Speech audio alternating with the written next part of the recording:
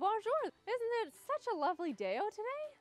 But you know, as a safety bison, I'd like to offer you some sunscreen to protect yourself from the harsh rays beating down. I know it's a beautiful day, but I really like hanging out in the shade. Well, thank you. I never use sunscreen and I really should. What's that smell? I can tell it's not food, but it smells so good. It's not the berries that I like to eat, but it has a certain something to it. I bet I could eat it. Yeah, hold on. I thought Elk Island had no bears. Hey, I'll have you know that black bear sightings have increased by 125% in the last two years at Elk Island. Whoa, bear, don't get too close.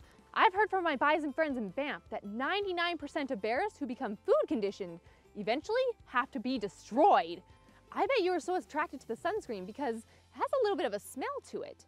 Other human attractants that are a bit smelly are obvious things like food and garbage.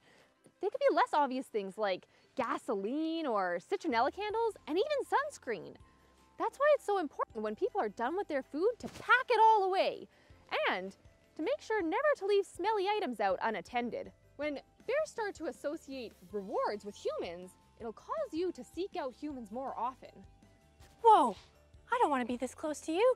That smells so good that I forgot for a second. I don't like being around people. You know, Bear, I don't really like being around people either. In fact, here at Elk Island, we call people bison wise, who use a handy rule to tell how big of a personal bubble us bison like. Here's how to do it. First of all, extend your arm. Second, give a thumbs up. Third, use your thumb to completely cover my entire body, all the way from the tip of my nose to the very end of their tail. And you know what? You're the only one with an, an opposable thumb here. Do you want to give it a shot? Sure. All right. So first of all, extend your arm. Second, give a thumbs up. And third, make sure your thumb covers my entire body.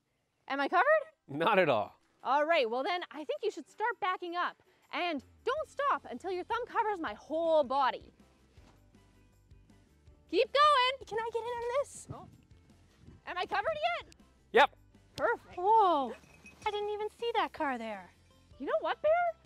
I've heard humans use the word habituation when animals start to get too used to being around humans. Bear, I think you've been habituated to the presence of cars. That's why here at Elk Island, it's important never to stop your car while driving. Yeah, it might sound nice to get to see me around the park, but habituation is often deadly for wildlife, especially bears like me. Ah! It's your responsibility to keep on driving when you see a bear. You know, I've even been hanging out on trails sometimes, just minding my own business. When something comes whizzing by so fast, I don't even see it coming. That's why it's so important when you're out on trails, whether you're hiking or biking, to make lots of noise. Hey, you know what? I found this noisy thing out on the trail once. What's that sound? I don't know. I just found it out in the park one day. Is this yours? Those aren't mine. Huh. Sounds pretty interesting. I'm not sure if I should be getting away from it or checking it out. You know, I think people used it to make noise, but you know what? You've already used your thumb as a handy tool. Why not use your hands just to clap or use your voice to speak out loud while you're walking or biking? That way, you won't be startling animals like bison or bears or anything else that doesn't really want to be too close to people. Understanding animal behavior is the first step to safely coexisting with wildlife so that we can all enjoy this Elk Island that we love. And what would Elk Island be without its wildlife?